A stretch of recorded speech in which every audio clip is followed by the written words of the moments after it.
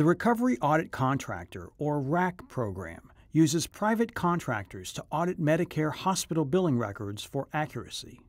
RACs are paid a commission for each claim they deny. So every 45 days, they throw in a fishing net and they haul out just under 400 uh, records. We're not taking the position that we don't believe we should be audited. We're fine with that. Every industry is audited. That's a completely fair fair practice.